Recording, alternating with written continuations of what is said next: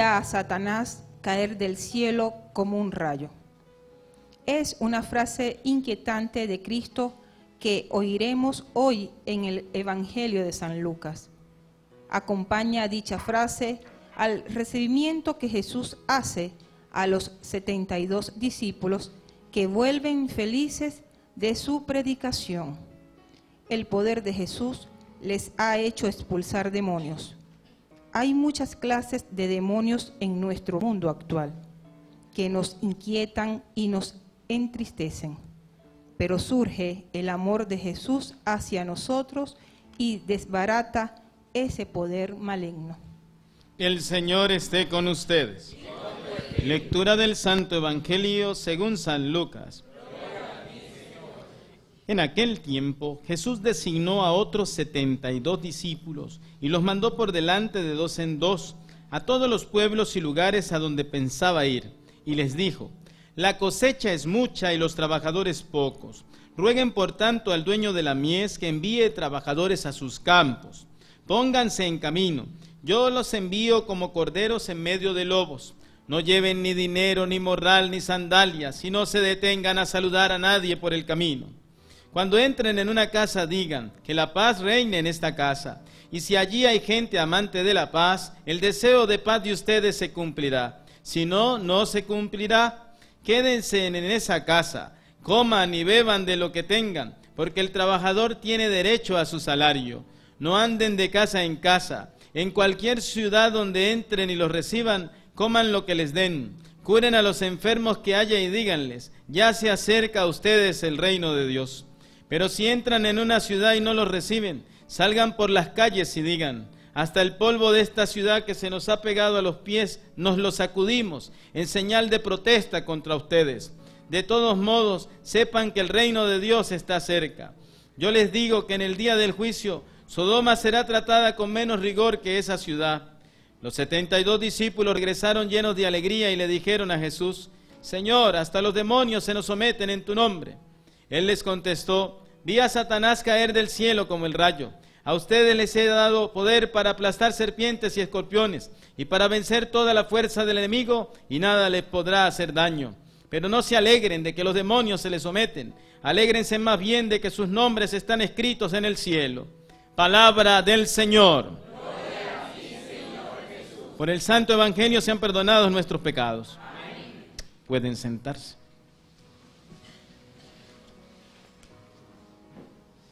Todas las lecturas hoy tienen relación. Y tienen relación con algo muy importante. Hoy todo el mundo quiere ser discípulo, pero eso es muy bravo. Y hay que asumirlo, porque es una tarea. Pero hoy todo el mundo quiere ser discípulo porque es que ahora hay un dibujo de Dios que no es Dios. Entonces, hoy, incluso en nuestra iglesia católica, hay muchos que están viendo a Dios como un Dios spray un Dios que lo eché para el momento, sentirme bien, tener una energía, aplaudir, alabar, bendecir, pero no hay cambio de vida, no hay cambio de actitud, no hay un hombre nuevo. Y por eso vemos una primera lectura que nos dice mucho, un salmo que nos dice mucho y una lectura de San Pablo que lo dice todo. He crucificado al mundo y estoy crucificado para el mundo. Es decir, el mundo ya me interesa un comino.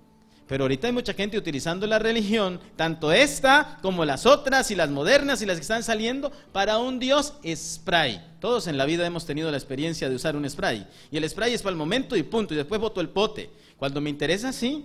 Para ponerle cachos a mi marido, para ponerle cachos a mi mujer, no me importa, ya no me interesa Dios porque ya lo usé. El Dios spray lo tiro. Para ser bachaquero, voy a misa, me doy golpes de pecho, abro la bocota, comulgo, pero sigo siendo bachaquero. Entonces, queremos ser discípulos y es muy fácil decir, ay, me voy para otro país porque me mandaron para otro país a evangelizar otro país, pero tiene la familia destrozada. Tiene la familia llena de dolor y de rencor. ¿Y por qué no predicas a tu familia? Entonces el Señor nos está haciendo la invitación, pero hay que analizar estas lecturas. ¿Qué es lo que vemos hoy en todo esto de la palabra de Dios? ¿Qué se nos quiere enseñar? Primero, la virtud de una verdadera confianza en Dios. la virtud de una verdadera confianza en Dios para poder ser un verdadero discípulo de Dios y ser un agente de evangelización. Pero nosotros nos quedamos con muchas cosas que los apóstoles, imagínense ustedes a Cristo, cuando te, le dice a un San Mateo que está ganando platica, San Mateo está ganando platica, en ese momento San Mateo era el ceniat de ese momento y tenía platica porque siempre en todos los países el que recoge los tributos es el que maneja la platica. Y al ver a un Jesús que tenía que tener un atractivo grandísimo y que le diga a Mateo, sígueme, y él deja toda su banca de plata allá tirada y sigue a Jesús. Los mismos pescadores, los que no eran como Mateo, que eran pescadores, tienen su familia y tienen todo y ven allá y el Señor dice, vengan, síganme, y lo siguen. Y lo siguen, porque hay una gran propuesta, hay un hombre nuevo, hay un reino de Dios, hay una justicia, pero hay una confianza de estos tipos que siguieron a Cristo, hay una confianza. ¿Y una confianza en qué? Que yo soy capaz de dejar mi pecado, arriesgar mi vida con este hombre que se llama Jesús, pero todo empezó a cambiar. Toda la actitud empezó a cambiar. ¿Ustedes imaginan si los católicos nos tomáramos en serio lo que significa ser cristiano? En este mundo no habrían guerras, en este mundo no habría maldad, en este mundo no habría tanta viveza, pero a veces los más vivos somos nosotros los que decimos que creemos en Cristo, los que explotamos al otro, los que sacrificamos al otro. Esta carta del obispo es cuando el obispo dice, aquellos que ayudan, aquellos que apoyan, y uno va y les pregunta a esos que son cristianos, católicos o evangélicos. Ninguno de esos me va a decir que es brujo, ninguno de esos me va a decir que es hechicero, pero usan la religión para calmar su conciencia. Entonces, la primera lectura, que es muy bella, luego de haber escuchado todos estos días las historias del pueblo de Israel cuando le fue infiel a Dios, que pasaban desgracia, ahora nos encontramos con un Dios que nos agarra en los brazos como una mamá a su niño, con un Dios que nos pone en sus rodillas, dice la palabra, con un Dios que nos arrulla y que nos consiente, que nos consuela. Pues ese es Dios. Ese es Dios para un verdadero discípulo. Dios para un verdadero discípulo es una mamá. ¿Ustedes saben cuál es el infierno de un niño de dos años? Que la mamá lo lleve al zambil y la mamá se le esconda por un minuto en el zambil. El niño ve el infierno porque se le perdió lo más grande que tiene, lo que le da seguridad, lo que le da alimentación, lo que le da protección, lo que le da el amor. Y por eso un niño confía tanto en su madre. Y por eso dice por allá en otra parte de la Biblia que tenemos que ser como niños para volver a entrar al reino de los cielos, para poder ir al reino de los cielos. Y volver como niños es confiar realmente en el amor de Dios.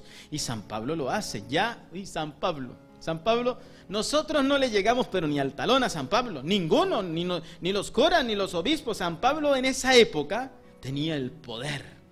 Primero tenía un poder en lo político, todos los partidos de esa época, que eran los fariseos, los saduceos, los celotes y los herodianos, querían tener a Pablo en su grupo, porque era maravilloso, era brillante. Eso es como que ahorita quisieran tener a uno de ustedes, el PSU, Voluntad Popular, Primero Justicia, Copella de, y todos se lo pelearan. Ese era San Pablo en aquella época.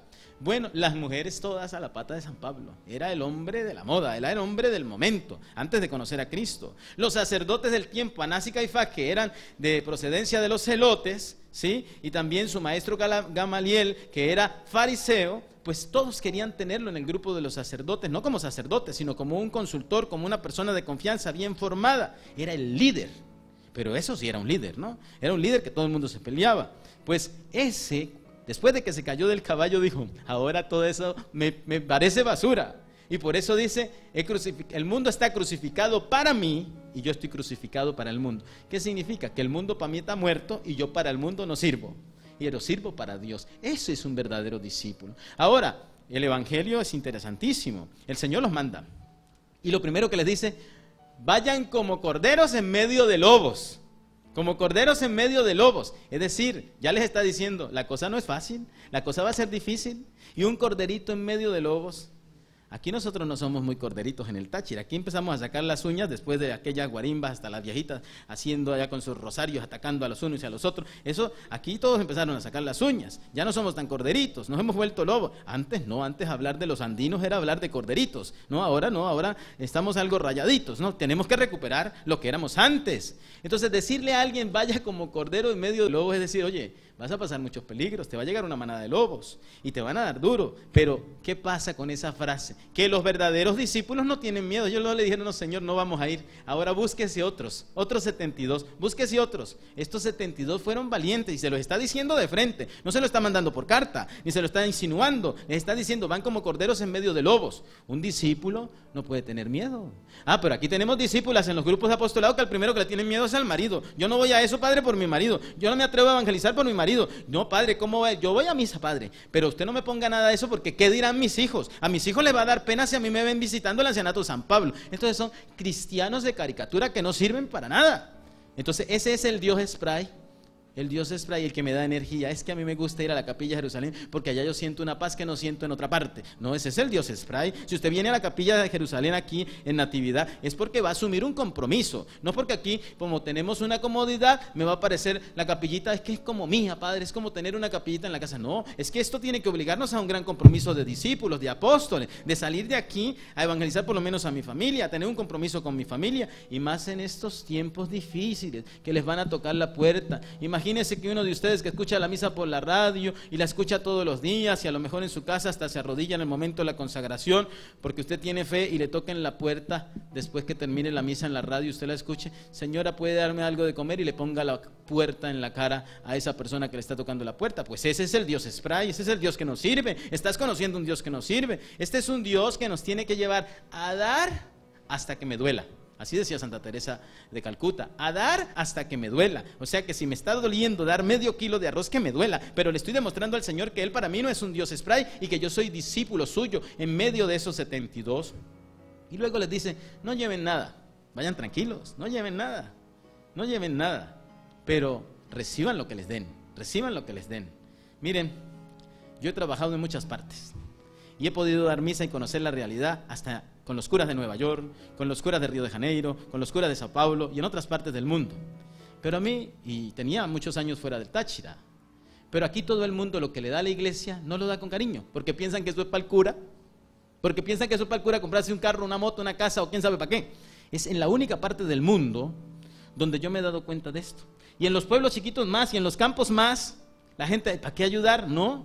Gracias a Dios, yo he podido mentalizar un poco a la gente donde he estado y muchos curas lo están haciendo ahorita. Por ejemplo, fíjense la gran iglesia que hizo el cura de La Palmita allá para la zona panamericana. Vino el nuncio ahorita y lo felicitamos a ese padre, Johnny Zambrano, con la ayuda de los obreros de las fincas, porque los dueños de la finca se fueron del país. ¿Y quién le ayudó al padre a hacer una gran iglesia? Caben mil personas sentadas en el segundo piso y hizo un auditorio debajo. Ustedes cuando vayan para la tendida o para Mérida se van a dar cuenta, después de Coloncito hay un pueblo que se llama La Palmita, porque la gente está empezando a tomar conciencia de que lo que yo doy no es para los curas, de que lo que yo doy es para mantener mi culto, para mantener bien los templos, para ayudar a mi iglesia. Pero aquí los gochitos tienen esa mentalidad. Lo que doy no lo doy con ganas porque eso se lo gasta el cura. ¿no? Gracias a Dios que mucha gente está tomando mentalidad diferente. Pero la palabra dice, porque ustedes merecen su salario. Dejen que le den lo, para que coman, para que vistan, no lleven nada. Entonces estos 72, si hubieran sido de esta época y venezolanos dicen, no, si usted no me da viático, yo no voy. Porque aquí hay gente que no va a misiones porque piden viáticos. Hay gente, ustedes no lo creen, pero uno que es sacerdote y ha trabajado de cerca con algunos obispos, yo sé de gente que le pide viáticos a los obispos para poder ir a evangelizar a los indios. Piden viáticos, el Señor no está dando viáticos, pero va a dar una gran recompensa. Y eso es lo que necesitamos hoy, que los verdaderos discípulos, los que están estudiando para curas, que nadie piense ordenarse por un carro, que nadie piense ordenarse porque va a ser plata, no. Si uno quiere hacer plata, ahorita en este momento que se metan a políticos, que esos son los que tienen el chanchullo, de un bando y del otro. Yo no acuso a un solo bando, los dos bandos porque se les conocen las historias a todos. Pero ser cura no da plata. Ser cura da una gran recompensa. Decía Santa Rosa de Lima, cada día es una moneda que Dios nos da para comprar el cielo. Pues el trabajo de un cura sí compra el cielo, porque está dando la vida, si se desgasta por una comunidad. Pero esto que dice hoy la palabra no es solo para los curas, es para cada uno de ustedes católicos que me están escuchando por la radio y por el internet. Si usted cree en Dios, eso tiene que dar un fruto.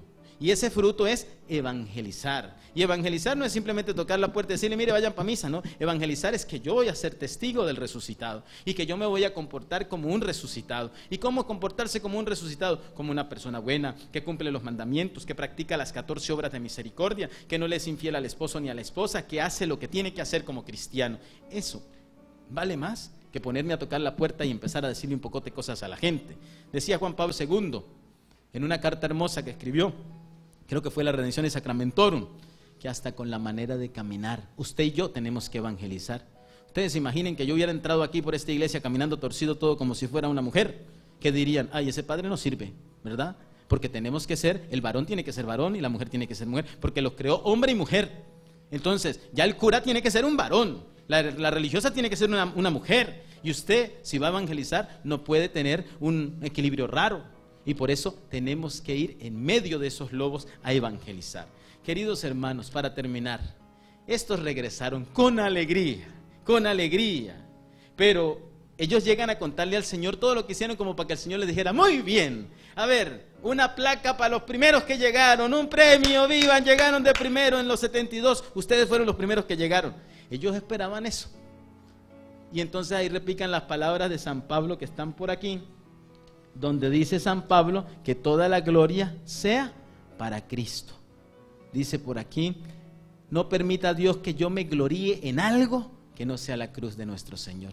Entonces tenemos otro tipo de discípulos aquí en Venezuela que lo que quieren es flores, que lo que quieren es aplauso. Ay, yo me voy de misiones para Machique, pero que cuando yo llegue mi párroco y el obispo lo digan por Radio Natividad que yo fui el que fui para Machiques y que me den una placa y que me manden una bendición del Vaticano, porque, uy, eso nadie lo hace, eso lo hago solo yo, porque yo soy el más bueno del mundo. Ese no es el discípulo que quiere Cristo.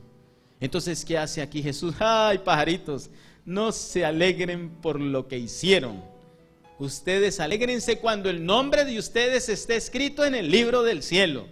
¿Qué quiere decir? Que por ser discípulos también tenemos que trabajar por nuestra propia salvación, porque está bien, se va la mamá de la familia tal de discípula para trabajar en Semana Santa en un pueblo y dejó abandonado al marido y a los hijos, pero se fue y dejó tremendo pleito armado, porque ya no tenía que irse, porque tiene un marido y tiene unos hijos. Y primero, la familia, ¿verdad? No es que se amarre a la familia, sino que tenía que haber arreglado las cosas en armonía para poder ir a dar la- el testimonio de que ella es buena esposa porque también tenemos eso. Señoras metidas desde las 6 de la mañana hasta las 9 de la noche en una parroquia, pero el matrimonio acabándose porque ella parece es esposa del cura, no parece esposa de su marido. Entonces, eso también responde a que es un mal discipulado. Primero tiene que tener una buena familia, atender sus deberes y su compromiso, y Dios dará tiempo para todo esto. Pues mis queridos hermanos, hoy la palabra de Dios sí que dice bastantes cosas, porque necesitamos discípulos. Dice, la mies es mucha y los obreros pocos. Ustedes no se imaginan. Dicen por allá en otros estados que el Táchira tiene muchos sacerdotes. No, aquí hacen falta muchos curas. Nosotros en Puente Real somos dos y ustedes vienen en el trabajo y llega gente y llega gente y llega gente y llega gente y, y uno quisiera salir, como dice, eh, para ir a todas partes. Hacen falta muchos sacerdotes, hacen falta muchos obreros para la mies. Pero este trabajo no solamente para los futuros sacerdotes, también usted puede ser obrero de la mies. Queridos hermanos, anunciemos a tiempo y a destiempo. No nos dé pena hablar de Jesucristo, porque a mí lo que me da tristeza es que aquí estamos acostumbrados. Si hay un accidente en la autopista, el que lo vio sale corriendo de una vez a contar, uy, un accidente, se volcaron, hay cabezas por todos lados, manos por todos lados, y explican bien la mala noticia. Predican bien la mala noticia. Pero cuando uno le dice, ¿por qué no hablas de Cristo? Ay, no, Padre, eso sí no me ponga a mí, hablar de Jesucristo. La buena noticia nos cuesta predicarla. La mala noticia sí la decimos con facilidad. Queridos hermanos, seamos agentes de la evangelización. Hoy necesitamos la nueva evangelización. ¿En medio de cuáles lobos? Los que quieren aprobar la eutanasia, los que quieren aprobar el aborto, los que quieren aprobar el matrimonio entre homosexuales, los que quieren aprobar y permitir la violencia, los que no quieren la paz. Esos son los lobos. Esos son los lobos. Ah, pero a veces nos da miedito decir estas cosas, porque es que yo tengo un compadre, padre, que usted sabe que en ese mundo de los homosexuales tienen mucho poder y cómo me voy a poner yo a decirle que no estoy de acuerdo con eso. No, padre, que usted sabe que el médico fulano de tal es ese amiguísimo de mi marido y ese tiene una clínica abortista. ¿Cómo me voy a poner yo a decirle que eso es malo? Y ustedes saben, ustedes que me están oyendo saben quién es el abortista, quién es el brujo, quién es el que anda en cosas raras, quién es el que anda en bachaqueo, quién es el que anda raspando tarjeta, quién es el que anda con los grupos violentos. Ah, pero es que Dios perdona todo. Ese es el Dios spray. Sí, Dios perdona todo. Pero ¿qué le dijo a la Magdalena y a muchos pecadores? Te perdono, pero vete y no vuelvas a pecar. Vete y no vuelvas a pecar. Pero aquí en Gochilandia estamos acostumbrados a pecar, pecar, pecar y no cambiar de actitud. Y parece que esa es la religión que queremos tener. La religión donde Dios es un spray que lo utilizo, voto el pote, pero después me olvido que existe. Pidámosle a Dios y a la Santísima Virgen que crezca en nosotros la confianza en Dios, que no tengamos miedo y que vayamos en medio de esos lobos, que los hay mucho aquí en San Cristóbal, a predicar y a evangelizar, primero con el ejemplo con el ejemplo, que no seamos católicos que damos escándalo y espectáculos para dañar la fe de muchísima gente.